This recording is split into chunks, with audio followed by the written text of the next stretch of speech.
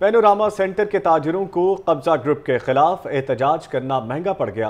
تھانہ civil Lines میں صدر پینوراما سینٹر شہزاد وقاص بٹ سمیت دیگر تاجروں کے خلاف مقدمہ درج۔ پولیس نے شہزادہ وقاص بٹ اور دیگر تاجران کو گرفتار کر لیا ہے۔ اسی پر بات کریں گے نمائندہ لاہور نیوز، فیاض ملک سے جی فیاض۔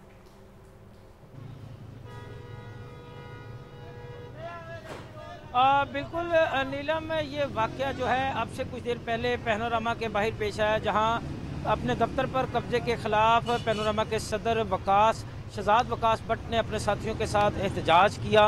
تاہم، جب وہ احتجاج کرتے ہوئے مال روڈ پر آئے اور انہوں نے مال روڈ پر ٹریفک کو بلاک کرنا چاہا، جس پر پولیس نے کارروائی کرتے ہوئے وقاص بٹ اور دیگر تاجروں کو اپنی حراست میں لے لیا اور ان کے خلاف ان کو تھانہ سیول لائن میں لے جا کر بند کر دیا۔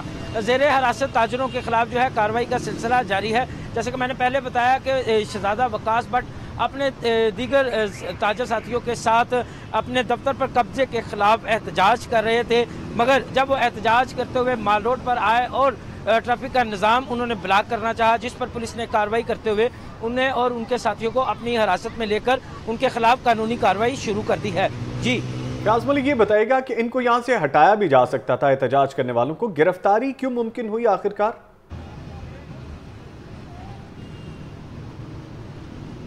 بالکل نوید، ان کو ہٹایا جا سکتا تھا، مگر پولیس نے کچھ زیادہ ہی پھرتی دکھائی۔ کیونکہ اس سے پہلے بھی مال روڈ پر احتجاج ہوتے ہیں، ٹریفک کا نظام جو ہے وہ بلاک ہوتا ہے، مگر کسی کے خلاف اس جلدی، اتنی جلدی کاروائی نہیں کی جاتی، مقدمہ درج نہیں کیا جاتا۔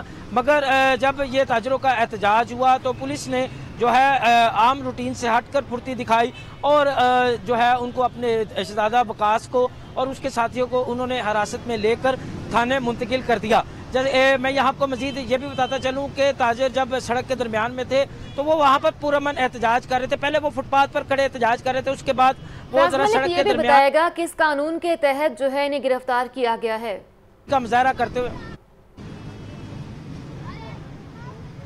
ابھی فی الحال انہیں جو ہے مال روڈ پر دفعہ ایک سو چورتالیس نافذ ہے، اس کے ساتھ ساتھ اور روڈ بلاک کرنے کے جو ہے الزامات ان پر عائد کیے جا رہے ہیں۔ مگر ابھی باضابطہ طور پر کوئی قانونی کاروائی عمل میں نہیں لائی گئی۔ ان کو فی الحال حراست میں لیا گیا ہے۔